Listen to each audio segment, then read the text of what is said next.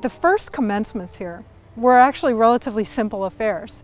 There was a single obvious place to hold them uh, because there were only a few buildings here and the rest of the campus was empty.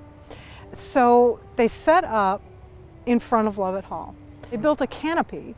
You have to remember, for, for decades, commencement here was held in June and it was very, very hot.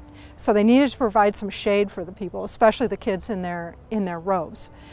It was held here in front of Lovett Hall up until about 1935. Um, the problem that was beginning to develop in the 20s was that there were so many more students and they had so many more family members that there wasn't any place to put them. The hedges were closed off, so they couldn't seat people where we seat them today, and instead they strung them out alongside uh, the side of Lovett Hall. Eventually that problem got so severe that they had to move it.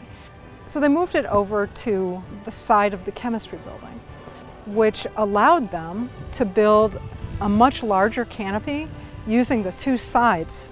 That's where commencement was up until roughly 1950. In the 1950s, they needed to move commencement again because with the new building that took place on campus and the construction of Anderson Hall, there was no, there was no, and also huh, trees right? They had planted trees alongside the side of the chemistry building and they had begun to grow to a height where it was problematic to get a lot of people in there.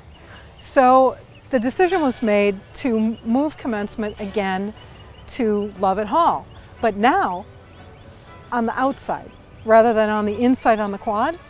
The outside at that point, what we now call Founders Court, was still a parking lot in those days. And they stayed out on that side of, of uh, Lovett Hall um, up until about the mid-1980s, at which point they moved back over to the quad side and to the morning rather than the evening and opened up the, the hedges, which had been closed off before then. And it was the opening up of the hedges that, that makes this work because now there's room to put the, all the seating for the, the graduates and the guests. Setting that we've been using, the beauty of the buildings and the beauty of the quad itself with the green grass and the hedges, it gives a real sense of the importance of the occasion. You know, unlike a lot of schools that have to have uh, commencement in, in an auditorium or a gym, it feels like what it is. It feels momentous and important.